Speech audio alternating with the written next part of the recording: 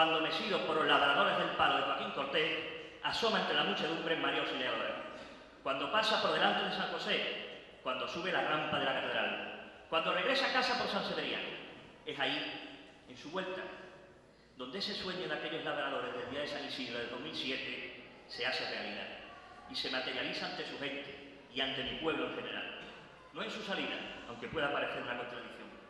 Al mediodía, la luz que rebota en la plaza de María Auxiliadora baña de blanco los primeros pasos blancos de la hermandad. Una luz que arremete contra nosotros con violencia.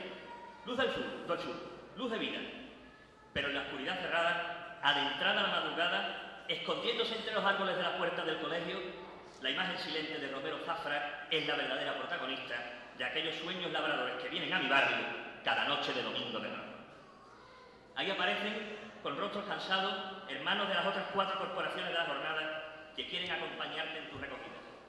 Después de dos años haciendo estación de penitencia, muchos piensan que el siguiente paso era completar el misterio. Sin embargo, a mi modesta opinión, se equivocan. Lo que les faltaba realmente era su madre, como siempre a su lado, a nuestro lado, al lado de la cofradía del amor, como bien reza en el título de la hermandad, María Santísima de la Concepción. Con ella me he encontrado casi sin esperarlo.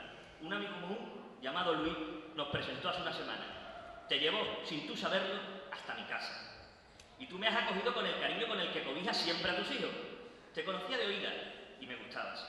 Tanto que me parecía imposible acercarme siquiera a ti. Seguía tu evolución en Córdoba. Muchas veces soñabas con mirarte en tu coqueta iglesia, con verte pasear un domingo de ramo. Esa ilusión que ahora desvive a los labradores que se embarcaron en esta aventura del 15 de mayo de 2007. Pero estabas en Córdoba y verte era solo una vaga ilusión. Como el enamorado no correspondido, eras el amor platónico de mis cofrades salesianos. Te tenía cerca, pero lejos a la vez, hasta que este amigo común nos presentó. María Santísima de la Concepción, eres como el sol de la mañana de primavera, que cuando cruces el puente sentirás tu calor reconfortante en la cara, que te regocijará y te hará feliz porque sí, porque será abril y estaremos esperando otro domingo de ramos históricos. Pero hasta que llegue este momento, tu mirada blanca es ternura y amor para tus hijos. En ti no puede haber dolor.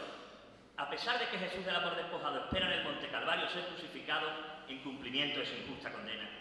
Tu perfil es el mar de Cádiz en, reposo, el sosiego atormentado, el sosiego del atormentado, y tu casa el refugio del náufrago.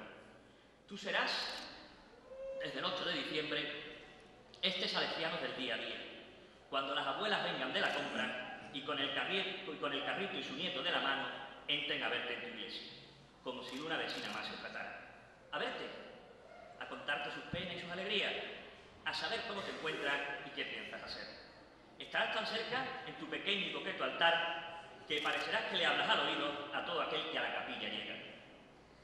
8 de diciembre, una fecha grabada con letras de oro en el corazón de los cristianos que conmemoran la festividad de la Inmaculada Concepción y con una significación muy, especial para la familia salesiana que celebra la efeméride de la coronación de María Auxiliadora. Y el día que salgas a la calle serás, por mor del largo recorrido, soberana, mañana, tarde, noche y madrugada. Te han puesto de nombre Concepción. La Concepción de María es el dogma de fe que declara por una gracia especial de Dios. Ella fue preservada de todo pecado de su concepción. La concepción es el momento en el que Dios crea el alma y la infunde la materia orgánica procedente de los padres. La concepción es el momento en el que comienza la vida humana.